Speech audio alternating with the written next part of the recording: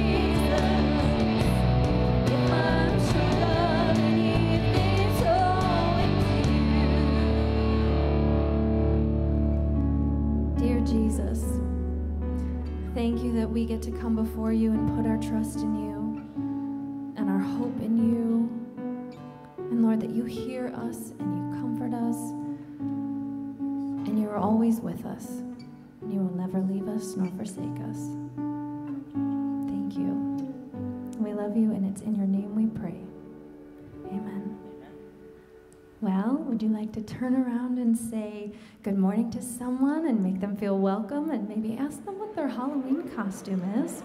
Or you can talk about the game if you don't like to wear costumes.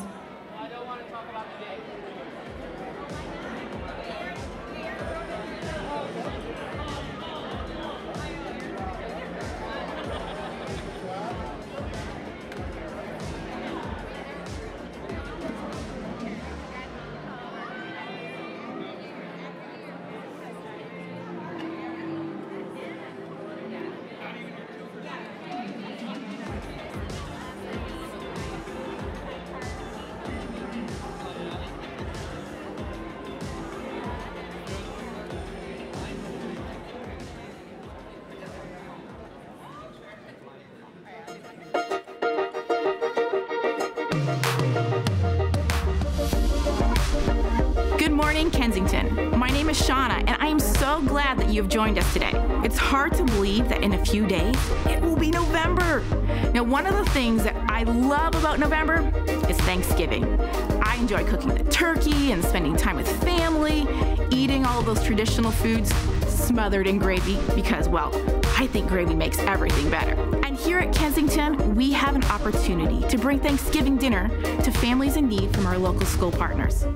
I want to invite you to join us in this nearly three decade long tradition that I personally have loved being a part of. Thanksgiving baskets. Now, Thanksgiving baskets, they provide families with everything they need to celebrate the holiday meal.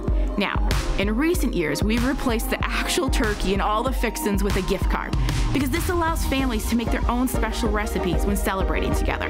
So for every $50 donation, one family will receive a Thanksgiving bag packed with paper goods, lots of love, and a gift card. Together, we can all make Thanksgiving special by generously loving our neighbors. So join us, grab some friends, your kids, and come be a part of this special Thanksgiving tradition. You can donate or sign up to deliver the bags by visiting kensingtonchurch.org slash Thanksgiving. And if you call Kensington home and are in need this year, please give our offices a call. Now, I don't know about you, but my dinner table after Thanksgiving is always a big old mess. I mean, it starts out looking really pretty. I mean, the plates and the silverware, they're all perfectly in place, and there's some sort of fall decor in the center of the table. But over the course of the meal, I mean, food is dropped, and bowls lay empty, gravy is spilled, and things just will end up in utter disarray. But that never bothers me, because the time around the table is not about whether it stays clean. It's about gathering with loved ones and celebrating. And the tables in our lives can be a place of joy, community, shared laughter, and love. But they can also be a place of exclusion. I mean, does anyone remember that feeling of anxiety when you'd enter into the school cafeteria at lunch and wonder, where do I sit? When you think about it, there are so many aspects of our life that happen around a table. And much of what Jesus taught also happened around tables, whether reclining by a table and having a friendly chat with his disciples, or breaking bread with them in the upper room. Tables were a significant piece in the life and teachings of Jesus.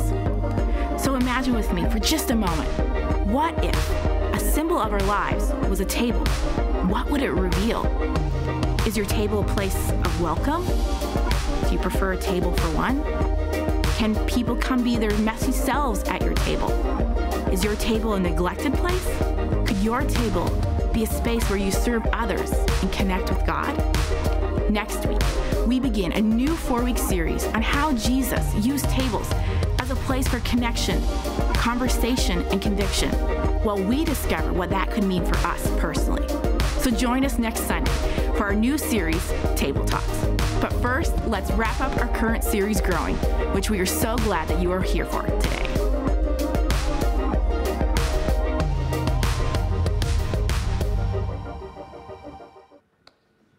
Welcome, welcome. Good morning. Good morning, everyone. Okay, so we skipped this in rehearsal today, but um, I'm just going to go ahead and start with it's Justin Warren's birthday. Oh. That so was sweet. so good. Yes, I thank thought. I was going to have to be like, Who come loves on, come being on. the center of attention on your birthday? Come on, you raise your hand. Could you Oh. love the center Okay, yeah. Yeah, everyone else is like, this is the worst moment I could ever imagine, right? Okay, just checking. My husband's one of those people that's like, don't tell anyone it's my birthday. And I'm like, Brandon. five days till my birthday, four days till my birthday. Oh, so good. All right. So uh, before, um, I was actually thinking about this um, last night as Henry Dupin, as you many of you know, Clint Michael Dupin helped launch Kensington Birmingham. And last year, when Michigan State won, I brought Henry and Clint on stage and decked them out in Michigan State gear. It was one of the greatest moments of my life. Henry was texting me from 12 uh, midnight till 1 a.m., trash talking me this year, getting me back for all of it. Well done to our U of M fan. Okay. Yeah. Take your moment. Congratulations Enjoy on the it. Paul Bunyan Trophy for this year only. All right, so we do have a few announcements that we wanted to share with you. One of those, I, just want to reiterate the Thanksgiving basket tradition here at Kensington. It is one of my favorite things that, that we do, and part of it is, uh, for me, when I was a kid, my family, this is one of the first ways we actually got involved in the church. Like, we didn't really spend time in the church, that wasn't my upbringing, but there was something about uh, serving our brothers and sisters around us that uh, brought my family to join in. And so I would encourage you as a family, it's a great opportunity, uh, whether you're being generous uh, with your finances or also with your time and being a part of those moments. Really encourage you to sign up and do that. I know for our family, it's a, it's a favorite tradition that we do with our kids and do it as a community. Yes, I love Thanksgiving baskets. Okay, and then the other thing that we wanted to talk about today is on November 20th, which is our first week back in the auditorium, uh, it is baptisms. So we are very excited. Over the last year, we have baptized 22 people in the mm. Birmingham community. And baptism is this public declaration of your decision to follow Jesus. So this is like, they, they don't like when I say this, whoever they are, but it Who is the they? Super Bowl of church things you can do. Baptism Day is, I, it's one of the most special things that you can do. And for me, I honestly, like when people go into the water and come back out, I cannot have that moment without tears. It is the most Yeah. beautiful thing that you can do as a Christian to um, have that outward declaration of your faith. So please join us that day and please just prayerfully consider if you should be getting baptized. Yeah, it's a powerful, powerful thing that we love sharing stories of. Um, so um, there are these times as a community where we have what we call a family chat, where we give an update, and everyone loves family chats. They're like, oh no. So um, we wanted to have a little bit of a family chat uh, and share an update uh, about our team. And um, one of the things that uh, has been happening in this past season, especially we were talking about it this morning, is in this growing series, how it reminds us of some of those next steps that we're called to. And so Erin is going to share a little bit of an update about her and her family. All right, so it is with a very heavy heart that I um, that I that I announce that I will be leaving staff. Um, but the great news is that I'm being called to something amazing, and I don't know what that is yet. Uh, we are actually we've put the mark- our house on the market, and we're headed to Kentucky. Um, I've got about 30 family members in and around the Cincinnati area, and I was born there, and we left approximately three weeks later. I spent every Christmas traveling to Cincinnati until I was married, and now all of a sudden we're empty nesters, and I feel like I'm being called to go live out kind of my childhood dream of being where my family is. My son's in Texas, he's always going to be a flight away. My daughter's at University of Kentucky, so she'll be about an hour and a half away. And I think that God is going to strategically place us in Kentucky exactly where He wants to use us. So I'm very excited about what is next. But with that being said, um, I am newer to this community, and you have welcomed me with the, with the most open arms. Um, you've showed nothing but love, and you're on the top of the list of things that it will be hard to leave. I don't know. I'm sorry. Can we give her a big?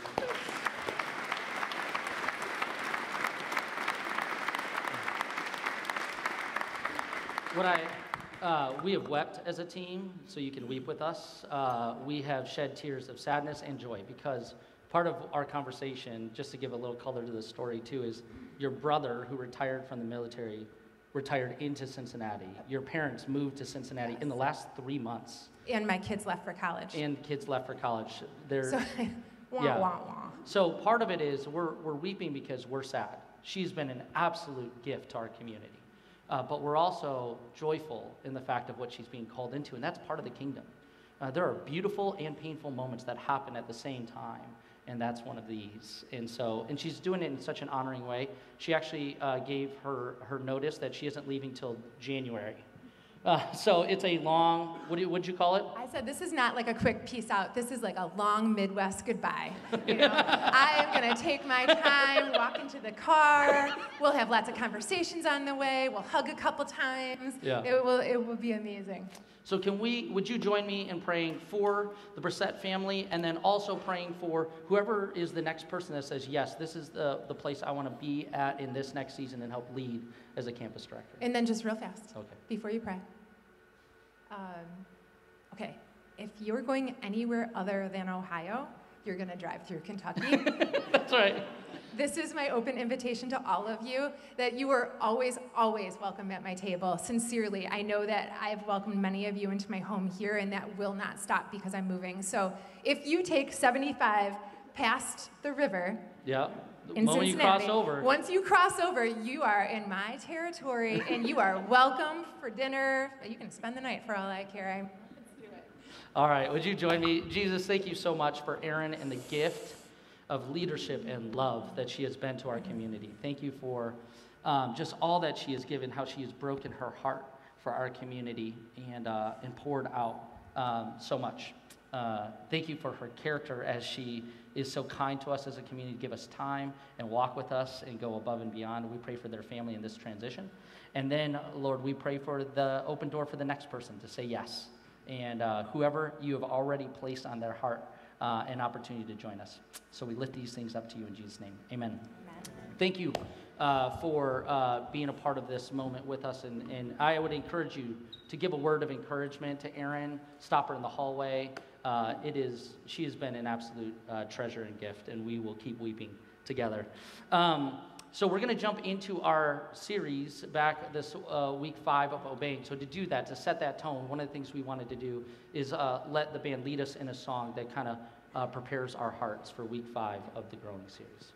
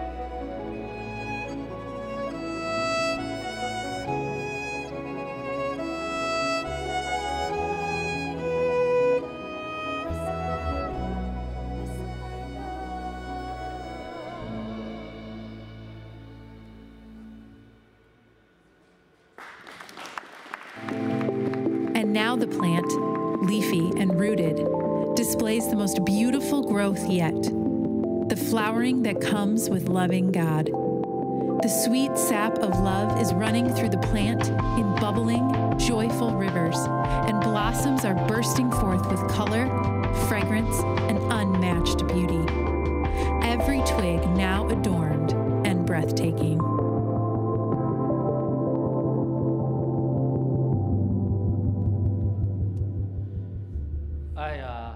this series growing. It's been a, a, joy, and if we haven't met, my name is Justin. Uh, I get to lead this campus, and it's been um, it's been home for us. It's been a place of connection and community and and beautiful moments to be shared. And I was thinking about as we are in this room, uh, in this gym. If some of you, this is your first week in the gym, welcome. It's one of my favorite weeks of the year. Uh, it's, it's seriously one of the places that I find things change and shift. And, and when we're in these spaces, we experience maybe a new, uh, a new seat. How many of you had to change seats and that was a frustration for you? Yeah, you're like, I, I know where I sit. And I know the people around me. We have that eye connection agreement during the handshake. We just go, and that's it. You know, you have those moments. You like things a certain way. And uh, so that's why I love this place. And, but this growing series is this beautiful conversation that we've been having about what does growth look like in our lives, in our spiritual lives, and in the ways that we desire to live. And I love that one line. It says, I don't want to miss a moment. I have that feeling all the time is I don't want to miss a moment. I want to be present with my kids. I want to be present in the moments that are joyful. I want to skip past the moments that are painful but I, I don't want to miss what God might be doing in my life. And for some of us, when we hear those lyrics, we're, we may be a little bit in tension like, is that true? Is that, is that really the kind of love that I desire? Or, or is there something else? And I just feel this obligation just weighing me down. So I don't know when you think about the word duty or obligation or obedience, what you think about, but one of the things I think about is the worst ideas ever in my life. Uh, I was thinking about one time, uh, I, one of my friends, when we decided to buy our house, and we bought this house that needed a lot of work. Uh, at the time, it was uh, we had gone through 80 homes at the time uh, to look for the home that we would e- eventually end up in, and and uh, it, it had these nice 1965 cabinets that didn't even have backs on them. Uh, the doors start falling off. The, the, the person, when they were walking through, and I, like, I judge myself a little bit. They're like, yeah, this dishwasher right here, it's great. It doesn't work. Uh, this is uh, broken. That's fake. That's not going to, but you're probably going to have to replace all these things. And I'm like, okay, I have the duty and obligation to make this place better. And so I decided what any wise individual would do. I became the general contractor on my own home, knowing nothing about general contracting.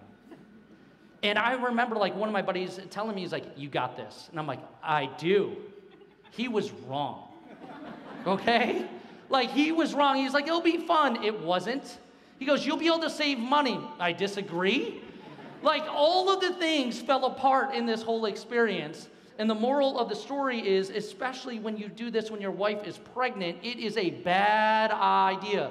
The water was turned on four days before our first child's due date. Let me tell you, there was a lot of conversations that were not fun that were happening in my household for uh, many, many months.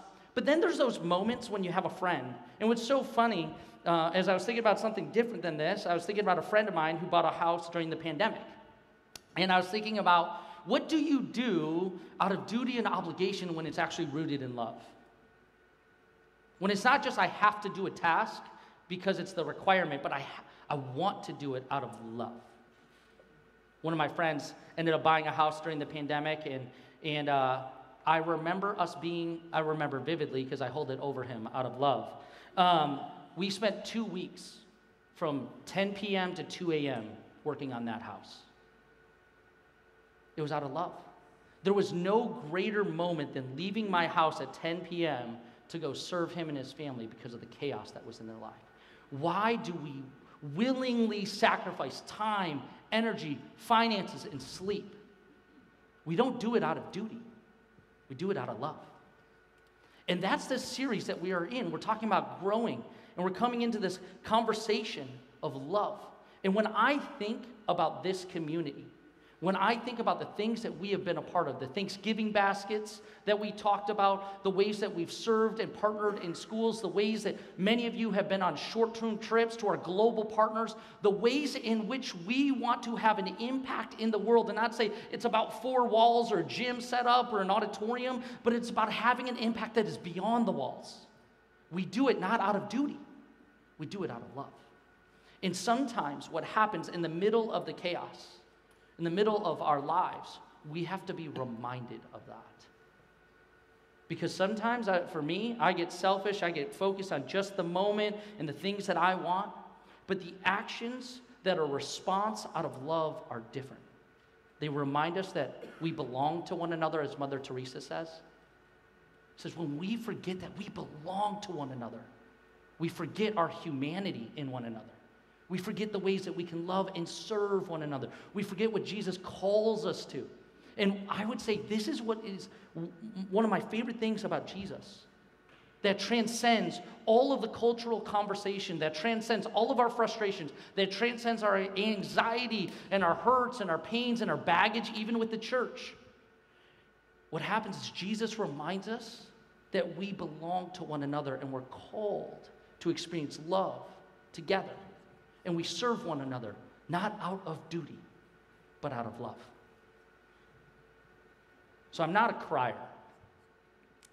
It's not like I haven't, oh, I haven't been a crier, but if you give me an America's Got Talent episode with a golden buzzer, I am like addicted to weeping as I watch beautiful stories of humanity unfold. I, it's like my kids even called me out on it, like, Dad, you never cry. I was like, Well, America Got Talent video, I will. Right? Like, because there's something beautiful that connects with our soul. And I think that is what Jesus, as he meets us in the middle of this growing series, is doing. To connecting us to something more beautiful, more powerful, more transformative. So why don't we pray? Jesus, thank you for this time. And maybe we come in to this place and we've, we've carried burdens, we've carried obligations, we've carried duty as the d- driving factor in our lives. And we felt the shame and guilt and all the things in between. Would you break down that in our hearts? And would you speak to us about the best that you have? In Jesus' name, amen. We're going to take a moment and receive our offering. Um, and uh, I, I, just want to say this if you're new here, we're just so glad that you're a part of this community. You stepped into this place. Maybe you're just visiting. Um, our offering is the way that we partner not only with what's happening here, but around the world. So our usher is going to come forward and you have an opportunity to give in the, in the bags that they have there or online. Um, I know for me, that's been my journey is uh, moving from uh, cash and check to online because I never showed up with anything because that was me, and I love uh, automation, and it's one of my favorite things. Uh, but I would say, whatever you give, if you decide to, uh, I just want to say thank you. You are part of stories and people's lives that are far beyond this place, and it is a joy to be in that with you. You get to have an impact around the world and uh, locally and globally, and it's just a joy. So here, we're gonna we're gonna go get started with our growth concept. Come back, kind of put the growth chart up on here. These have been our five weeks of our journey. We talked about in the first week believing in God. Where we talked about that word believing is more like trusting. It's an act of trust. Believing is not just thoughts about something, but it's the willingness to trust and move in a direction. Tatiana led us in the second week around seeking. And the idea of seeking that she brought us to was this place of seeking without shame. I know that so many of us come in with different levels of baggage, maybe from the church, maybe from community, maybe from life. And, and, and what, I, what I loved about her message was it was about seeking without shame, freely able to pursue God and understand more about Him. Third week was about knowing.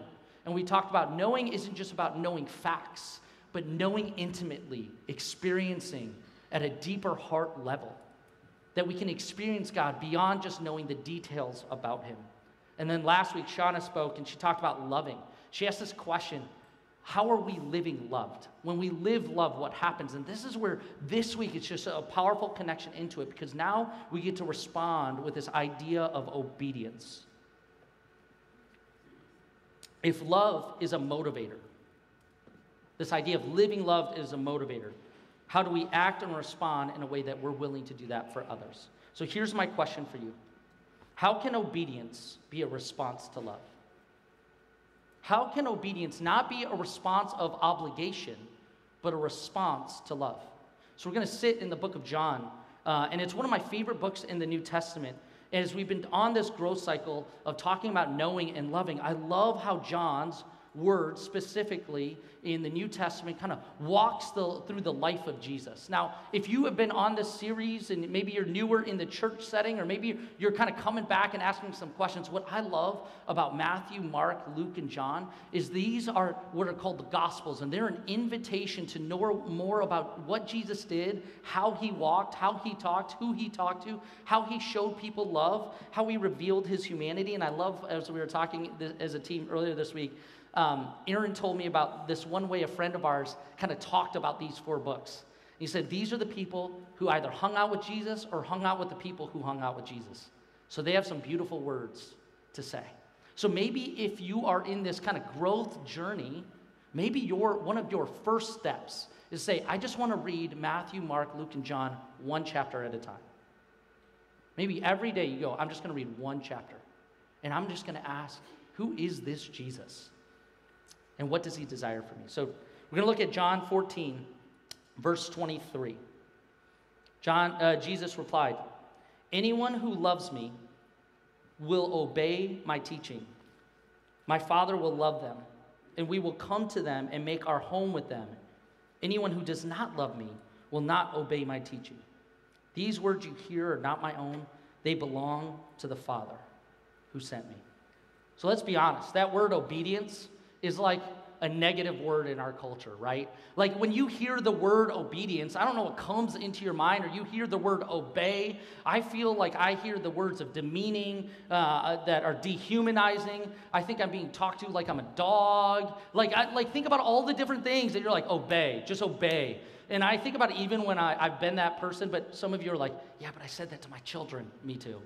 Me too. I've, I've said, hey, I need you to, I need you to obey right now. And then I'm like, that sounds weird. I need you to listen. But what I really mean is I want you to obey whatever I say, right? Like this is what happens. And so I go back in, in my mind, I go back to this 10-year-old me, right? And 10-year-old me uh, especially in, in a family where my dad kind of came out of Toledo, uh, first one to go to college, kind of pulls himself up by his bootstraps kind of guy. And then my mom immigrated here from, from Taiwan, and, and she had to find her footing in a really difficult automotive world as a Chinese woman and in the C suite kind of community and conversations. Like, I watched them navigate the complexities of it. And guess what? They had a lot of expectations for me.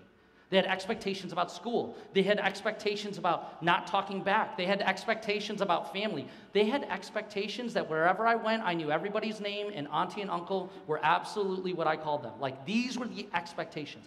Even to the point where I knew this idea of obedience, especially in my culture, in our subculture, was very high. That one time, after I had left my, my job in engineering and supply chain, we're sitting down uh, with my mom and one of her friends, and, and then her, uh, her friend's oldest daughter. So me and this girl were like uh, kind of same age, same class. We always would almost like compete but not compete because we didn't want to make each other look bad type of thing. And, uh, and so we're sitting down, and, uh, and she says to me, um, the daughter says to me, Man, I, Justin, I am, man, this idea to leave your job, to go do something you love.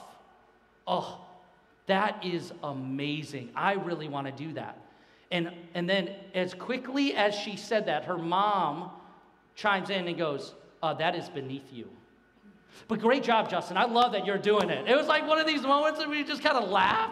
And I'm like, because it was this expectation that with your degree, with your experience, the only thing is climbing in a certain way.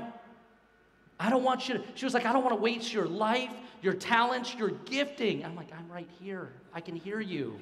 Right? It's one of those moments like, I, I know what you're saying to her, but it feels like it's hitting me really good. But this isn't the type of obedience that Jesus is talking about in the scripture. Obedience in our human experience sometimes can be like there's a certain expectation that you have to live up to and you cannot deviate from. I think Jesus' invitation to us is something better. When he gives us a vision for our lives, when he, he gives us a vision for how to live and how to talk to people and how to love people, how to serve people, he's saying there is a more freeing way that is better. So I'm not asking you to obey just to obey. I'm asking you to follow me and see what I have for you. And maybe the longing to be more present, the longing to experience more joy, the longing to allow anxiety to decrease. Maybe if you follow my way, you'll experience all that you long for and more. It may not look the way you thought, but it may be better than you ever dreamed. And I believe this is the type of conversation around the word obedience. Because when love, a response to love that is genuine, obedience can be a beautiful response to that love. It can be free of guilt and shame. Think about the things that you do out of love. When, when your spouse or your partner is sick, after you close the door on them so you don't want to get sick, then you start cleaning up a little bit more. You start going above and beyond. You start asking a different question. Maybe you've fallen into, you know, there's certain things that you tackle in the home and they tackle in the home, but when the other is sick, do you notice that it changes? When a friend is hurting, you find yourself dropping everything. When a friend gets a diagnosis, you find yourself shifting your posture, shifting your prayers, shifting your thinking towards them in a different way because it is a response of love.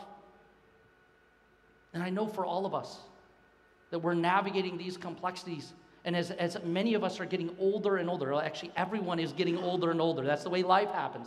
But as you start getting to the point where you start caring for your parents, you're willing to shift your entire schedule to do so out of love. When love is genuine, obedience can be a beautiful response. And I don't know if there's a greater, greater act of love than this picture. Can we put that one picture of anybody know what this is? if you do not know what this is, this is the greatest act of love that I'm going to teach you about. There is nothing more sacrificial than this act of love. So this is called the NoseFrida. And what you do is you stick the NoseFrida into your child's nose when they have snot dripping out of their face.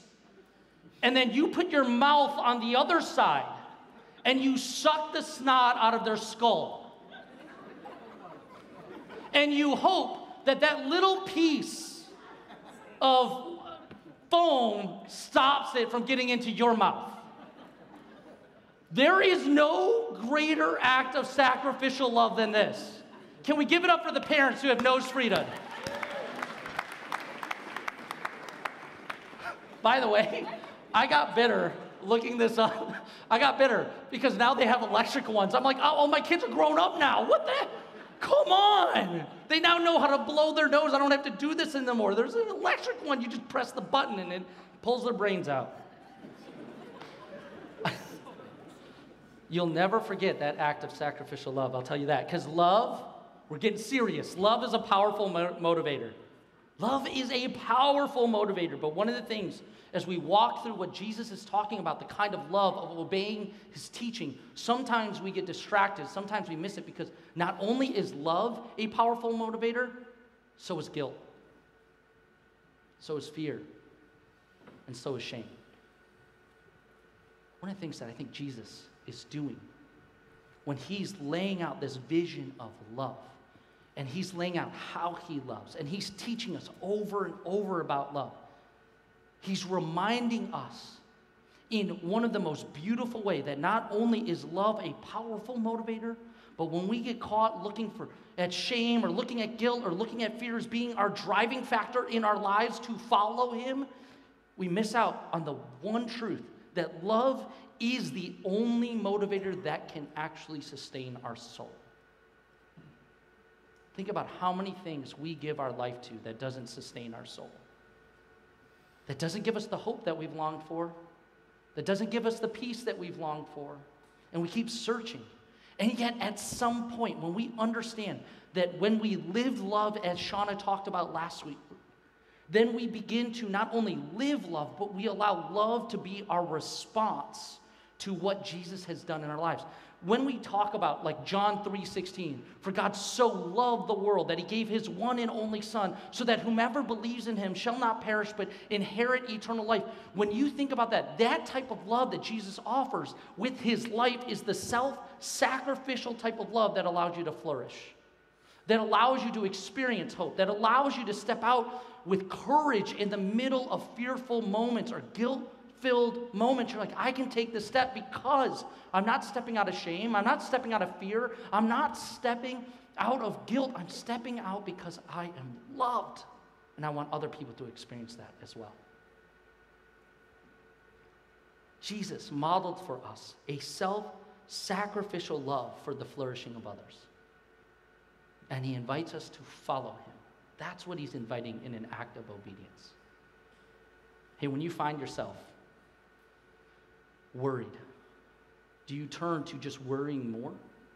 Or do you start to trust differently? Do you start to seek differently?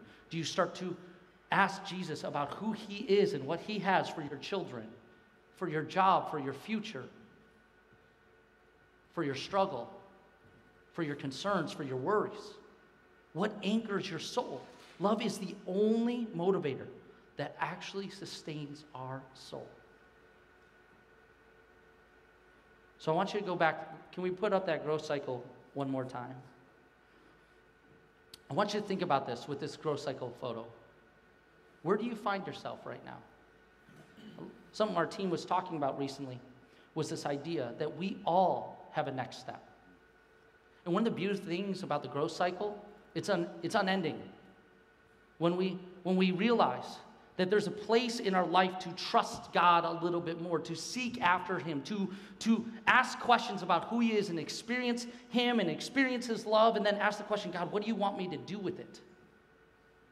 That's the journey of the growth cycle. And sometimes we want it to be like what we hope the stock market is up and to the right, and just easy street, right? But that's not the way life works. It's this cycle of up and down and up and down, and, and we walk through it over and over again. And that's what this growth cycle is inviting us into. Sometimes it looks differently. Sometimes you realize you're not trusting Him. You've been trusting yourself, you've been trusting your own skills, you've been trusting who you are. And God's going, Will you seek after me and know that I love you? Will you see how I've loved people on the margins? And will you move towards them? Will you know and experience this love that has given you freedom? And will you offer that to the world? Because they long for the same thing you do. When we find ourselves in this growth cycle, we find ourselves at different places with a different next step. But that's the beautiful journey we get to take together. Because you've taken a step of trust that I haven't. You've taken a step where you've grown in places that I haven't. And I want to learn from you just like you want to learn from me. It's this mutuality of the kingdom of God interacting with one another. You have wisdom that I don't have. You have experiences that I don't have. And when we move together, we get to experience a more beautiful vision of the kingdom. I think about acts of obedience. Have you ever had a moment where you, have realized that there's been a temptation, a sin, an area of your life that has become so overwhelming that you, you've been fighting it on your own and you've had to reach out to a friend? When I think about the growth cycle, I think about this moment where I felt like my relationship with Jesus had started to grow distant. And I remember at Man Up, uh, what we call Man Camp now, or retreat, but about eight years ago, I went and uh, I looked at my friend Adam and I said, Hey, I need you to help me in this area of my life. This area I'm struggling, this area I'm hurting, this area I'm just, I find myself running into a brick wall over and over again.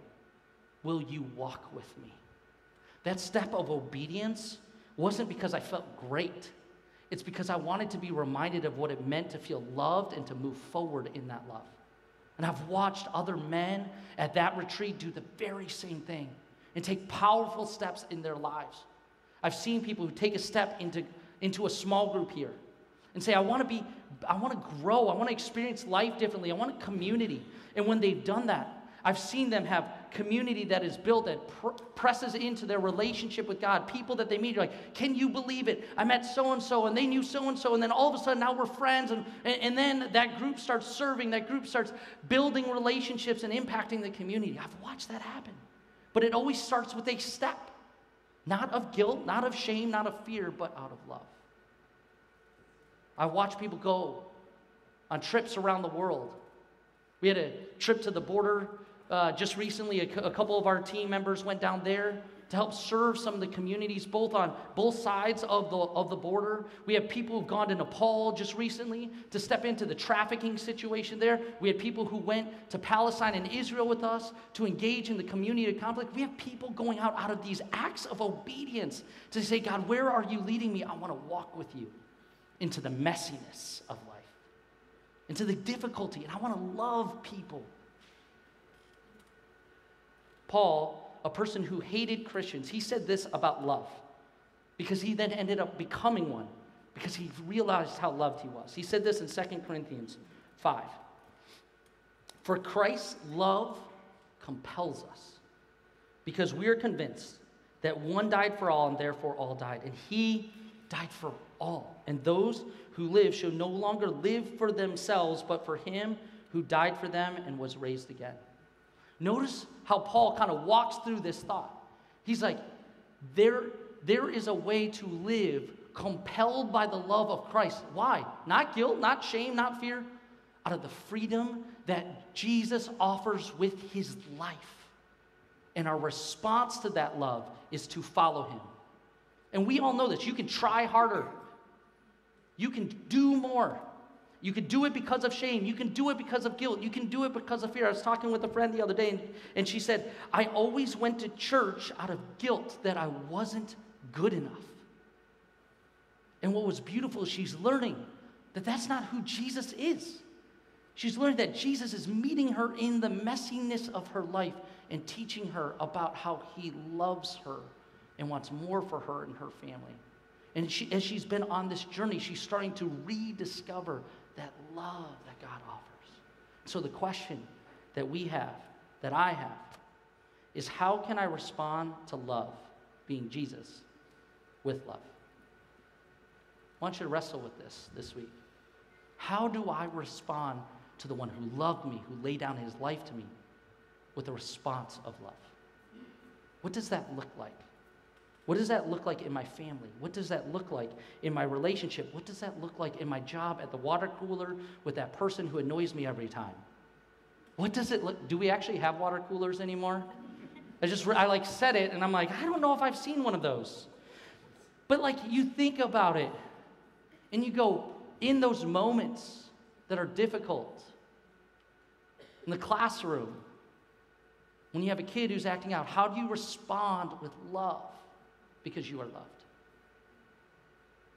How do you show people a different vision of life? Because I think what Jesus does is hey, come follow me because I'm going to teach you about the ways in which my love can transform your life and your community. This is the invitation over and over again. I love how Eugene Peterson, theologian, author, writer, he said this, and yet, oh, and yet I decide every day to set aside what I can do best and attempt what I do very clumsily and open myself to the frustration and failures of loving. Daring to believe that failing in love is better than succeeding in pride. Think about this. I want you to look at this.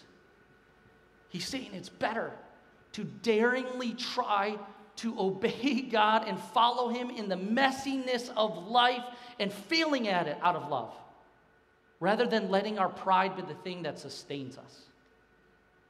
Because we all know we've been down that road, it never lasts. I think Jesus' invitation to us to follow Him, to obey Him, is a way that even if we fail in love, we still move forward with the beauty of a sacrificial love that is unlike anything else in this world. It's why Paul would write in 2 Corinthians 5:16. At one time, we thought of Christ merely from a human point of view. How differently we know him now. This means that anyone who belongs to Christ has become a new person. The old life is gone, and the new life has begun. Notice that word has begun. Our goal isn't to be successful with prideful, we never fail. Our goal is just to follow, to respond to love with love. So, how do we respond to love with love? When you think about that growth chart, and have the band come up, when you think about the growth chart, I wonder in which one of the, the different moments that you find yourself in are you able to respond with love right now? And are you finding yourself in a place where you're just not believing? You're okay, God. What would it mean for me to respond with love to the love that you've given me by just choosing to seek you a little more? To sit in your presence, to listen to your, your scriptures or to a song that encourages your heart. When you think about maybe you've been in a season where you haven't sought Jesus out very much, or maybe you felt like you hit a brick wall, you might ask God, God, what, what do you want me to know about you? How do you want me to know you? How do you want me to know your love? And would you break down the places in my heart that have grown cold? Because we don't do it out of obligation, we do it out of love. And when we do it out of love, I believe we are able to grow and keep growing and being able to share those moments with one another. When I look out every single time, I see people whose stories have been shaped by love. I see people who are having impact in schools, as teachers, administrators. I see coaches who are loving people on the sideline. I see researchers who are trying to understand the complexity of life and following after Him. I see people who have been walking through businesses, managers saying, How do I love the people that I'm with? One of my favorite things is to say is why don't you invite them to see Jesus as you see him, to experience Jesus as you experience him, and see how it not only changes your heart but theirs. How do you respond to love with love? In G- Jesus, we are so grateful that you have met us in our mess.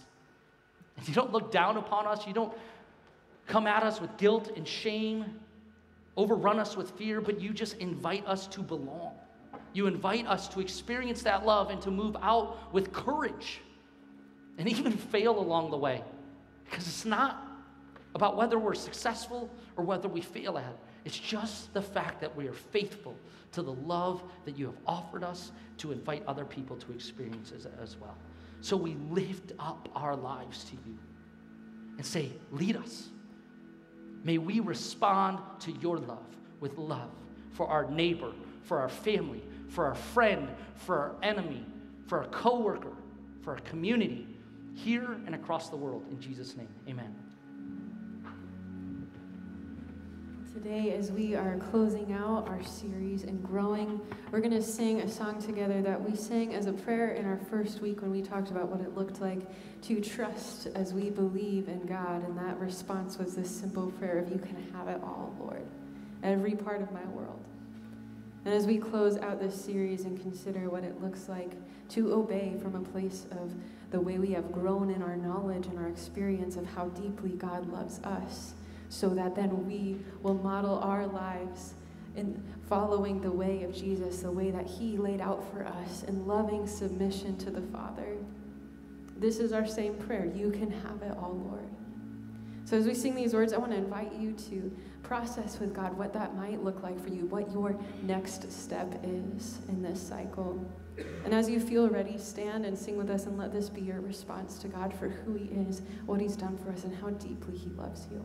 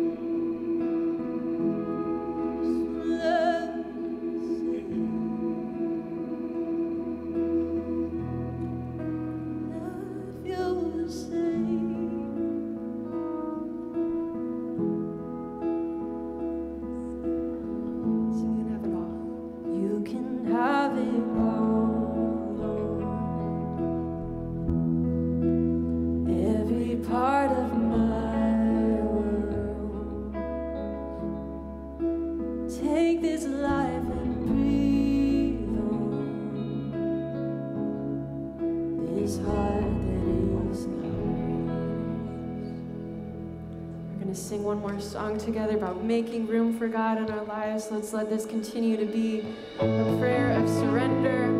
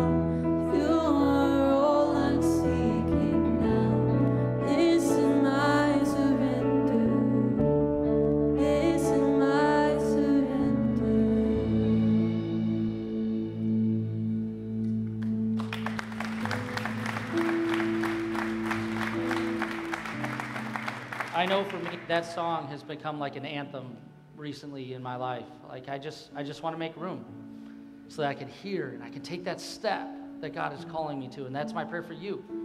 How do we respond with love to love?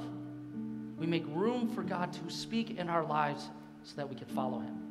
And so I'm praying that, that that's one of the things that you take away from this series and that begins to impact you daily, weekly, in your home, in your workplace, and in your own hearts. And so I pray that that would go with you. Um, next week, we kick off our table talk series, and I will tell you this I, I don't do this often. Uh, this kickoff, uh, my heart for this first week, uh, there is something about it that I think is one of the most foundational conversations we need to have right now. And you know those table talk moments, they're important. I, I just, um, I'm inviting you not only to come back to, but to bring somebody with you because I believe it will be one of the things that sets the tone for this next season. And um, it's going to get messy because it's called the messy table. And uh, that's what we're talking about. And so we want to get a little messy and talk about what does that mean to live in the mess of our lives.